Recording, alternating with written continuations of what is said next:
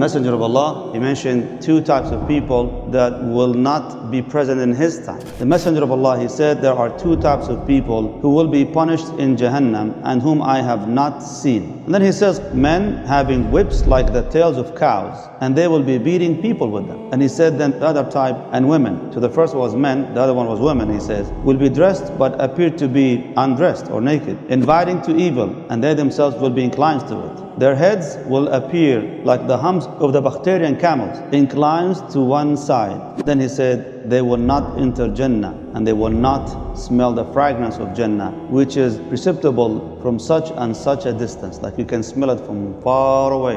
Rasulullah has given us one of those prophecies about the future. He is warning us, don't be like these people. Men, they will be holding in their hands whips like the tails of cows. Riot uh, police, for example. They're holding with their sticks in their hands, whips in their hands, some of them actually electrocuted as well too. And he says they beat the people with that stuff. Now when the ulama, they said these people, uh, they're doing it unjustly. They're just being supportive of tyranny. Imam al-Nawawi, who lived 900 years ago, he said that these are those who work for the police. And he's basically speaking about a specific category of people that are unfortunately known to be more of a militia.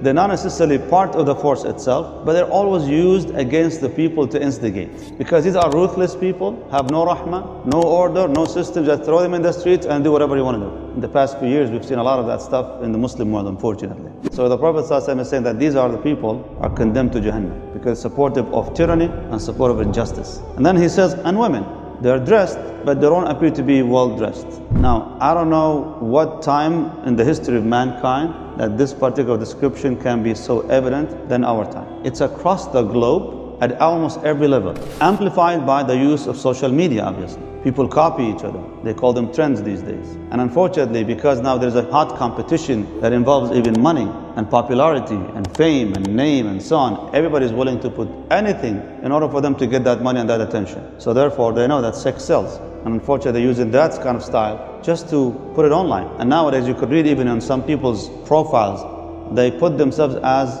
content creator, basically kind of producing videos and they keep posting stuff and so on. They're wearing clothes, but when you look at it, it's nothing.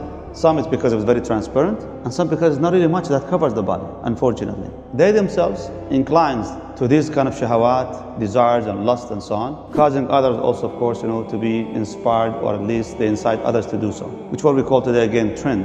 A lot of now our young girls, they see these things and they follow these examples. Even to the extent these days when you go to the kids section sometimes, it's horrible. The kind of clothes that be produced for these children, the kind of toys and dolls that are produced for these children, everything is just really kind of promoting this kind of culture, this kind of attitude for the younger ones and for the children as well. One particular description about the hairstyle.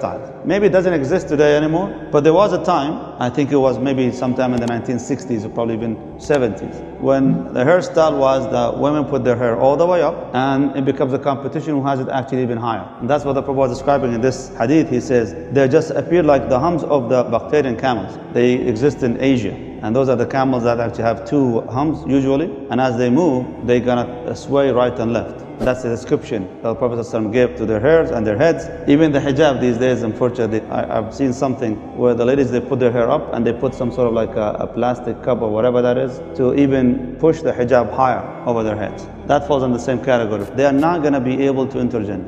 Like deliberately doing that to cause this fitna for themselves and other people, they will not enter Jannah Another hadith, the Prophet says, you can smell Jannah from the distance of 500 years. But these people, unfortunately, they will not be able to have that pleasure of having the scent of Jannah. Imam al-Nawawi rahimahullah ta'ala, 900 years ago, he said, we have seen them in our time. 900 years ago. Whatever he saw back then, it's not even a fraction of what we see today, unfortunately. It's horrible. So may Allah subhanahu wa ta'ala protect us and protect our families from this, Ya Rabbil Alameen.